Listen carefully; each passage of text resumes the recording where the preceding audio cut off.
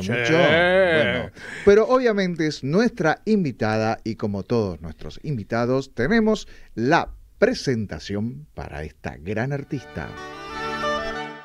Nuestra invitada es actriz, directora, productora y docente.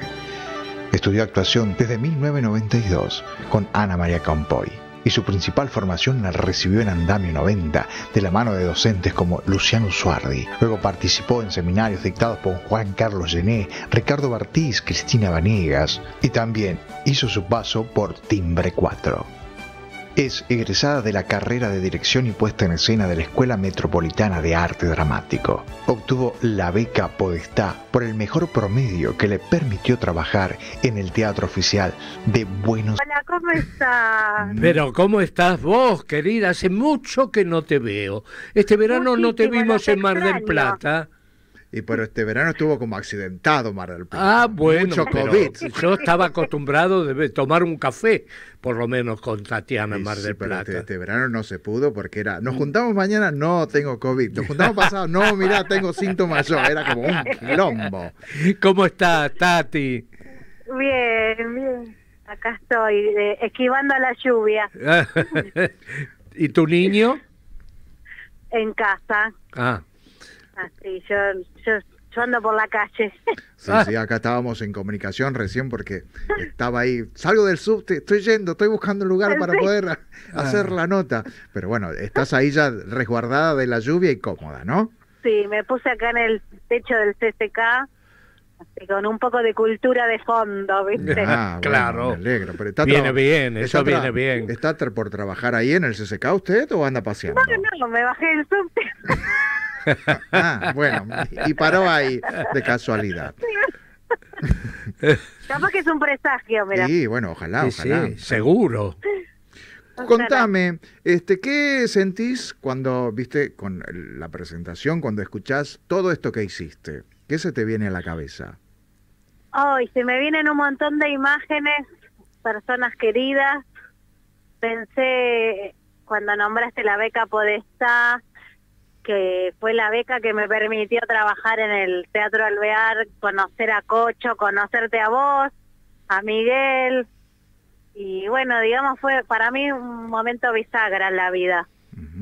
Y, y estoy muy agradecida de ese momento. Y, viste, lo, lo escuchás, uno lo lee en un currículum y decís, bueno, listo, es un dato. para Y, y ese dato contiene un montón de historia, ¿no? Exactamente, historia que uno va forjando, como va forjando vos tu, tu, tu trayectoria dentro de, de este ambiente teatral. Yo recuerdo cuando la conocí a Tati, este, era muy jovencita Tati, pero muy jovencita, Sí. estaba recién egresada del EMAT, no sé cuántos años tenías, 21, 22. Sí, 23 años creo. Mm, Era una, una criaturita recién bueno, salida. hace dos años de eso. Ponele. Eh, hay una, una obra bisagra que digamos que rompió eh, toda la estructura de, de lo que era el musical Off, que fue este, una obra que protagonizó eh, Claudio Pasos y que vos dirigiste este, y que fue un, un antes y un después creo en el musical Off y también en tu, en tu esencia artística. Contame un poco de eso. Sin duda. Bueno, Cachafaz se cumplen 10 años justo de su estreno, así que también, digamos, como ese, esos 10 años fueron como un repaso de lo que pasó, ¿no? Desde ese momento hasta hoy. Eh, fue un musical que hicimos sin darnos cuenta que estábamos haciendo musical.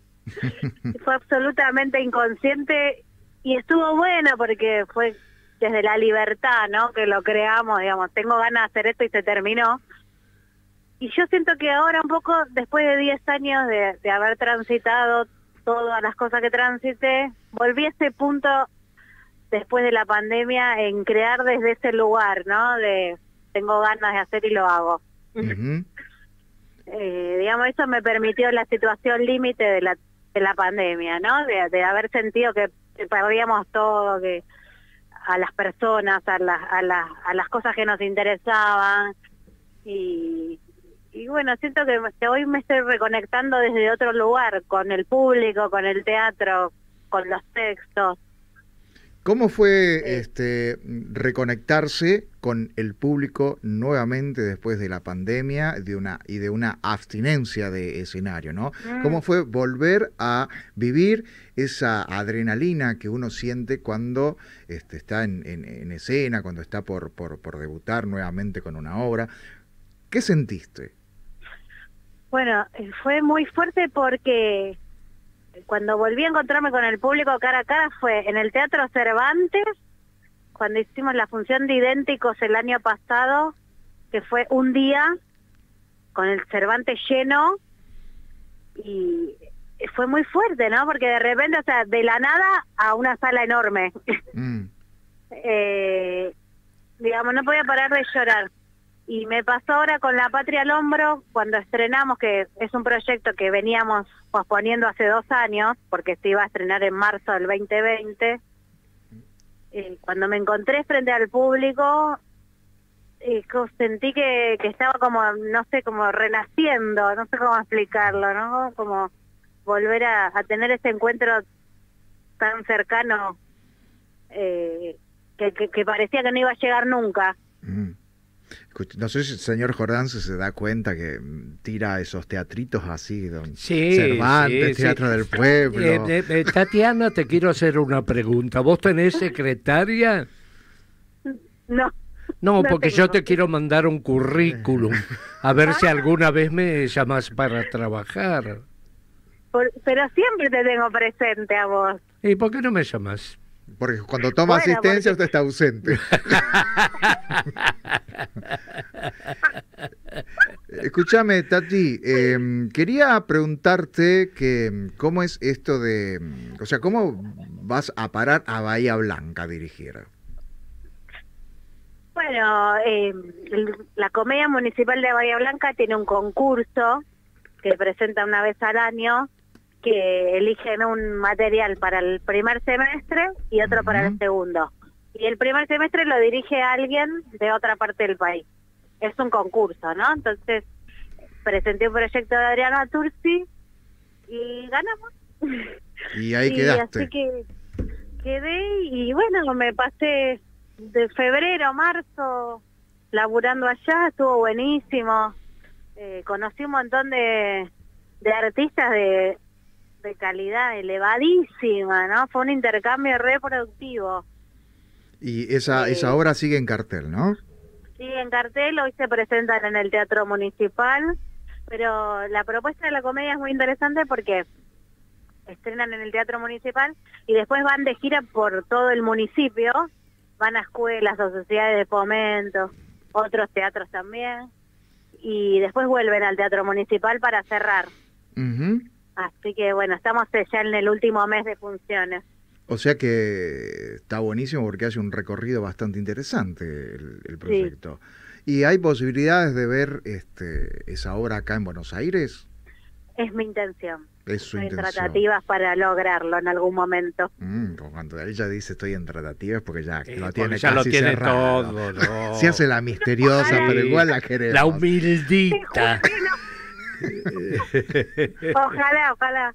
Ahora estoy acá en el CCK porque vengo a cerrar las funciones. Esa te voy a contar. A ver. Venís a- ¿Vas a cerrar las funciones de qué, Tatiana? De los cómicos del camino. No, mentira, estoy mintiendo. No estoy acá en el Teatro Astral, Eh, a punto de cerrar mi próximo espectáculo. Pero bueno,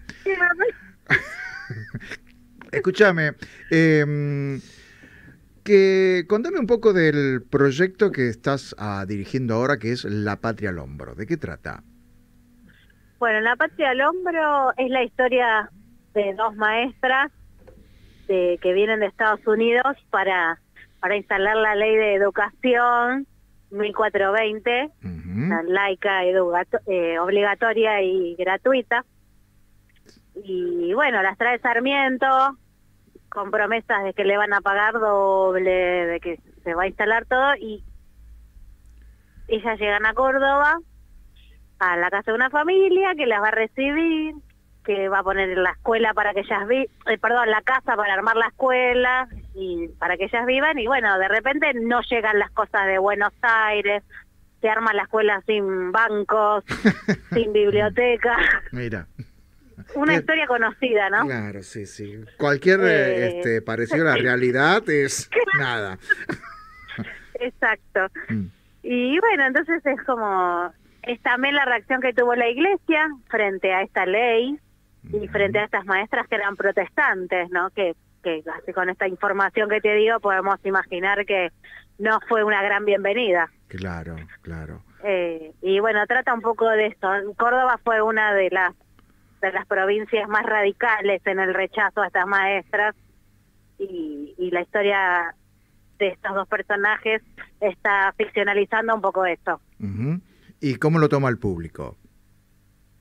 Bueno, muy bien. La verdad que la gente, esto que vos decís de cualquier semejanza con la realidad, eh, lo, lo vivencian con todas las fibras de la emoción, se divierten, se sienten identificados. Eh, la verdad que la obra tiene bastantes componentes lúdicos también que hace que que la sobrelleve, ¿no? Digamos, estamos hablando de una realidad terrible, pero bueno, te, te lo permite ver y reflexionar y divertirte con eso. Eh, esta y un poco habla también de nuestra argentinidad, ¿no? De, mm. como un poco es reírse de nosotros y, y tratarnos con ternura también. Tratando con, con, con, ternura dentro de ese caos y ese patetismo que debe contar también este, ciertas situaciones, ¿no? Completamente. Eh, ¿Cómo fue eh, la elección de esta obra? Me la sacó la autora a fines del 2019. Ella la había escrito eh, después de una investigación con el con la beca creación del Fondo Nacional de las Artes. La escribió en ese momento y bueno, me, me la presentó cuando cuando vi el título y supe que ella era la autora y el tema de que trataba, eh, me interesó al, al, instante, ¿no? O sea, ya sabía que la iba a hacer. Y bueno, y después cuando la leí me empecé a reír, me emocioné, me pasó de todo, dije, sí, vamos.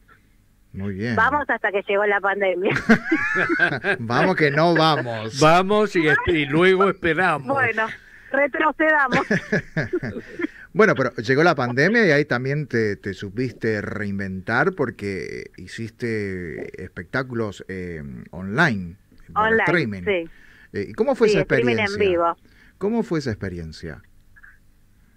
Pues la verdad que fue muy gratificante porque primero que, viste que si no estamos como gatos enjaulados cuando no, podemos hacer teatro, no podemos, ¿no? Eh, ni actuar, ni escribir, ni dirigir, no sé.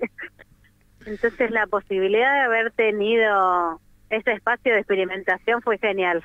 Y a la vez como poder decir, bueno, tengo todo el tiempo del mundo para experimentar, para aprender un lenguaje que no conozco, ¿no? Eh, para tratar de entender cómo, cómo hallarme en, el medio de esta virtualidad. Eh, fue muy mm, como un disparador de, de esta libertad que te decía que, que sentí que retomé de, esa juventud en la que vos me conociste. Creo que fue gracias un poco a la pandemia y a ese proceso. Y el, el, el hecho de, de, dirigir en el nuevo Teatro del Pueblo, ¿qué, qué, qué, significa para vos? Eh, bueno, el Teatro del Pueblo es un teatro hermoso, es un teatro donde se labura súper bien, donde te sentís como respetado, valorado, ¿no? La gente que, que, que se encarga del espacio son toda gente teatro eh, y que nos rebancó todo este tiempo eh, que, que, no podíamos hacer nada, ¿no? Porque mm. encima cuando estábamos por estrenar en abril, a mí me sale lo de lo de Bahía Blanca y le tuve que decir, ah, no, che, pará, estrenamos dos meses más tarde. y, estuvo buenísimo, el, digamos, lo comprendieron, eh, siempre con respeto. Mm. La verdad que estoy más que agradecida con el pueblo. La verdad que es una sala hermosa, ¿eh? Sí. No, yo no la conozco. Sí, es muy linda. No Yo conozco. fui a ver lo de la- las hermanas este, Alonso. Sí, la verdad que es una sala muy linda que está eh, totalmente bien equipada con todo. Mm. O sea, eh, nos merecemos los actores que tener esos teatros y que funcionan muy bien, ¿no? Sí, la verdad que y tiene un público propio, ¿no? También que está bueno, que ya saben que programan cosas eh, que les gustan, digamos que Y que cosas que hermosas, de calidad, claro, cosas hermosas como La Patria al Hombro, que hay que ir a ver. como la patria no. La verdad Después que... los sábados a las 20. Sábados a las 20. ¿Y el valor de las entradas? 1200 Ujú. Eh, El Teatro del Pueblo tiene una propuesta que vos pagás lo que te parezca, digamos. Desde 1.200 hasta 2.000 Ujú. podés pagar lo que quieras. Y después los vecinos de Almagro tienen un precio de 900 pesos y los estudiantes y jubilados 1.000 pesos. ¿Y los vecinos de Congreso? No, eso no. no llega a Congreso. El radio del delivery llegó hasta ahí. Ah, Nada más. bueno, bueno, entonces, este, ¿y esto que se, se puede sacar por, por dónde? ¿Por alguna página o directamente? Alternativa teatral Y o la- en la boletería del teatro. En la boletería, eso nos gusta aclarar porque hay, viste, algunos, después de la pandemia, como que hay algunas salas que se reestructuraron y solamente trabajan con alternativa. Sí. O sea que se puede sacar las entradas ahí en el Teatro del Pueblo, que la sala queda en La Valle 3636. No podés olvidarte, La Valle 3636 para ir a ver La Patria al Hombro. ¿Quiénes son los que actúan, Tatiana? Eh, Sebastián Pajoni, Karina Antonelli, Silvina Musanti, Lalo Moro, Julieta Coria, Haru Kesselman y Juan Subioto. O sea, Ah, un lindo, lindo elenco eh, con muy buenos actores, ¿no? Sí, muy buenos y de distintas generaciones. Eso está buenísimo, el intercambio, ¿no? Y las formas de, de ver el teatro. Es re interesante eso.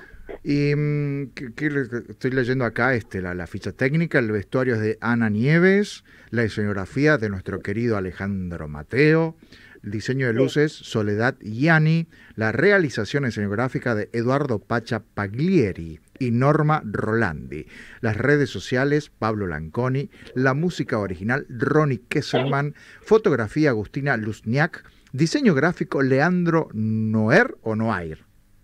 Noir. Noir. Asistencia de producción Verónica Parreño, asistente de dirección Ayrton Santos, producción Lalo Moro, Tatiana Santana, coreografía Pilar Rodríguez Rey, nuestra querida Pili, coaching de acento español Ana Nieves Ventura y la dirección es de Tatiana Santana. La duración es de 60 minutos y es clasificaciones dice teatro presencial adultos La Patria al hombro en el Teatro del Pueblo. ¿Me olvidé de algo, señora Tatiana? No, de nada, estuviste impecable. Gracias. ¿Estoy aprobado? Además, además puso voz del locutor, Que el texto es de Adriana Turci. Ah, Sí. bueno, Adriana Turci. que es una querida amiga Adriana. Usted es amigo de todos, señor. Bueno. Adriana la conozco, la veo mucho en dónde? Argentores. Ah, mire usted, mire usted. Claro. Bueno, mi querida. Tati, estamos como acercándonos de a poco al, acá a, la- a las noticias, no a las noticias, no, a la pausa musical, a la tanda este, que tiene La radio. la radio. Cuénteme este, un, un poco más sobre eh, cuáles son los proyectos que tiene. Si tiene algún proyecto dando vuelta o no se puede decir nada. No, eh, la verdad que le quiero dedicar mucha energía a la patria. Siento que antes de la pandemia como que íbamos un proyecto atrás del otro, siempre corriendo la coneja. Y tengo ganas de disfrutar, de, de ponerle toda la energía a, a algo por ahora. Eh, y bueno, después si en algún momento eh, me dan ganas seguramente, o sea, siempre fantaseo proyectos, pero no, ahora no hay nada concreto porque tengo mi- mis energías puestas en la patria. que me parece muy bien que, que no te desperdigues, porque si estás haciendo un éxito hay que seguir empujando, empujando y bueno, este, yo a mí no me extraña, yo voy a ir a verlo, no sé, soy jubilado, no sé si voy a poder pagar la entrada.